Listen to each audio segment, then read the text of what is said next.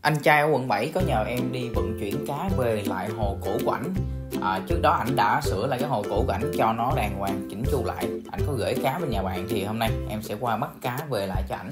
Thì có quá trình mà đi ờ, vận chuyển cá từ hồ này qua hồ kia như thế nào cũng như là những bước mà để vận chuyển một con cá an toàn nhất có thể hạn chế rủi ro thì mời các anh chị và bạn cùng xem hết clip với em nha. Điều quan trọng nhất của mọi em cá đó chính là sức khỏe của em cá khi vận chuyển. Nó phải không có được bệnh tật gì hết thì mới vận chuyển một em cá an toàn được. Điều thứ hai đó chính là mình sẽ tiến hành kiểm tra bát hồ, cũng như là mình sẽ quan sát cái tình trạng bên ngoài con cá. Những cái à, bộ phận cơ thể của nó có vấn đề gì không thì sẽ báo cho khách. Bởi vì khi mà mình đã bắt rồi á, mà mình vận chuyển về nhà mới rồi á, lỡ nó dập đuôi, gãy càng thì trước đó mà mình không báo khách á thì khách sẽ hiểu lầm mình nha anh em. Thì uh, cái việc đó sẽ không hay nha. Thì mình sẽ báo tất cả tình trạng cá cũng như là khi mà mình về hồ mới rồi mình thả ra cũng phải cho khách kiểm tra kỹ càng con cá để tránh cái tình trạng mà khi mà mình về rồi đó khách có phản hồi lại con cá nó bị này bị kia thì sẽ không hay nha. Thì bên mình luôn làm việc rõ ràng kỹ càng ngay từ đầu nha anh em cho dễ làm việc.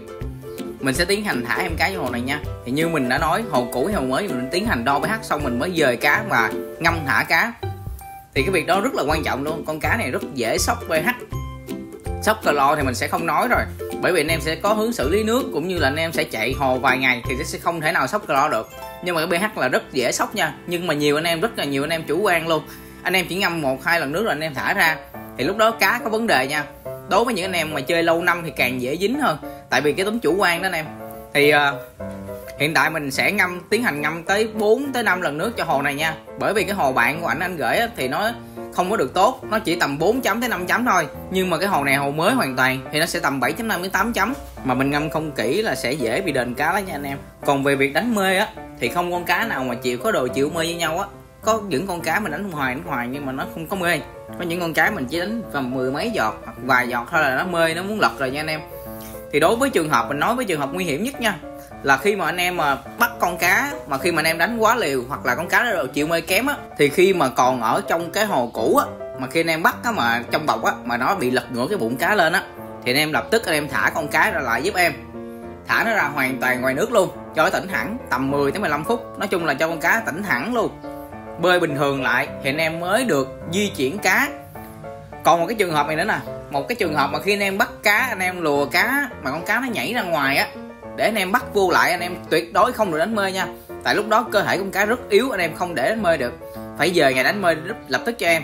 Còn khi mà đi đường á, mà anh em đang chạy bình thường mà anh em quan sát con cá mà nó đã lật ngửa bụng lên á, thì anh em ghé tiệm tạp hóa vô.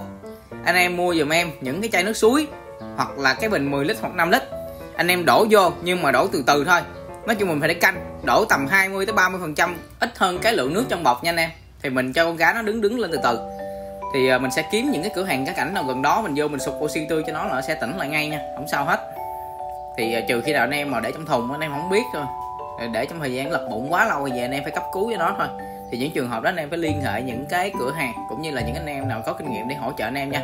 Thì đối với việc đánh mê á, thì anh em cứ liên hệ bên em đi bên em sẽ hỗ trợ cho anh em, chỉ anh em cơ bản nhất để đánh mê. Chứ còn trên đây mình chỉ nói chung chung được thôi, mình không nói chi tiết được, tại vì mỗi độ chịu mê con, mỗi con khác nhau. Quay lại vấn đề chính cho anh em, thì em đã tiến hành thả em cá ra rồi. Em sẽ báo cho anh trai đó để kiểm tra cá thật kỹ lại. Rồi em à, cảm ơn ảnh và lụm lúa ra về nha anh em. Thì những anh em đang chơi môn cá rồng á, có liên hệ, có thắc mắc, có vấn đề gì trong cái quá trình nuôi thì cứ liên hệ bên em nha. Bên em sẽ hỗ trợ tối đa cho anh em luôn.